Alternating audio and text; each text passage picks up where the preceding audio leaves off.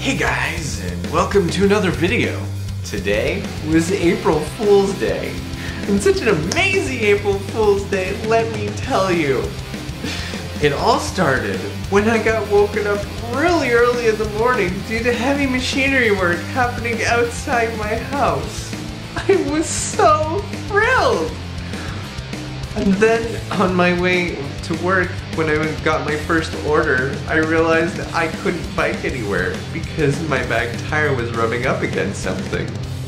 So I checked it out. I looked and it was obvious it was back fender. So I adjusted it. Still wasn't working. Adjusted it. Still not working. I only have a few more minutes to get to the pickup. Still adjusting it. Still not working. I'm getting really agitated right now. Don't want to deal with this. Still, it's not working, so I just take it and I rip it off. And then I go to bike. And then it's still rubbing. Turns out it had nothing to do with back fender at all. So I had just ripped off a perfectly good back fender for nothing. Hey.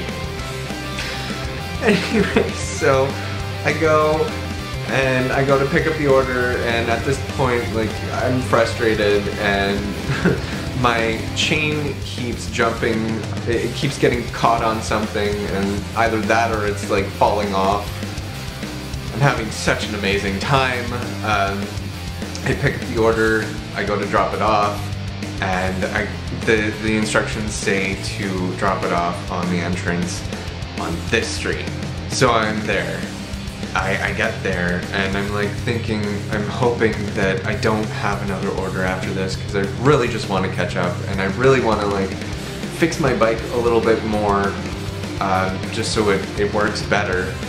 Um, and I look at my phone and not only do I have one more new order, I have two after this one.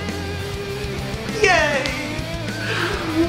Anyway, so I get in the building and she's not there, so I call her I'm like, I'm here!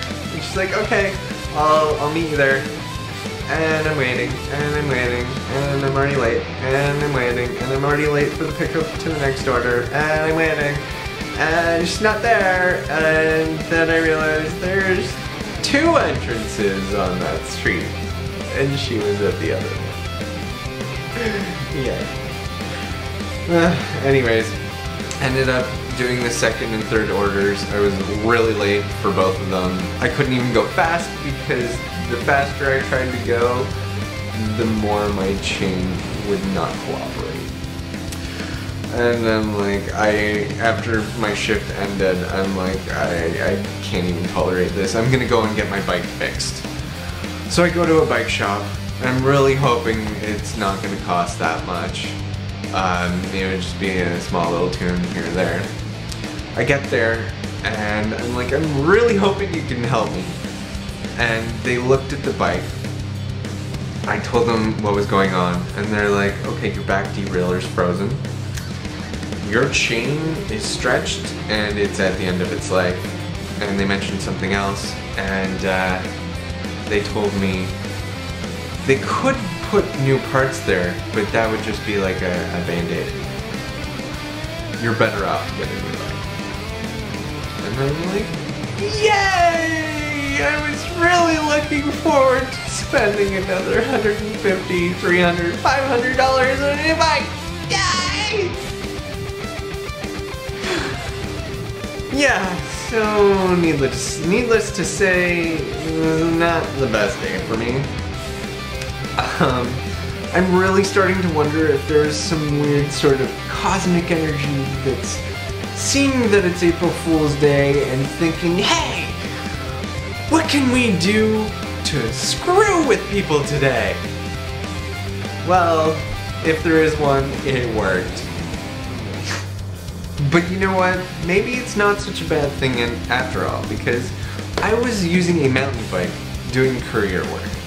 And you know what? I could really go faster if I had a, a road bike. And if I had the road bike, and if I was going faster, I could get more orders. which means more money. So maybe in the long run, it's good. Just today it really sucks. But yeah, gotta be positive. Gotta see the bigger picture. Anyways, so that's my video. If you liked it, please give me a thumbs up, comment below, and subscribe if you'd like to see more videos. Until next time, bye.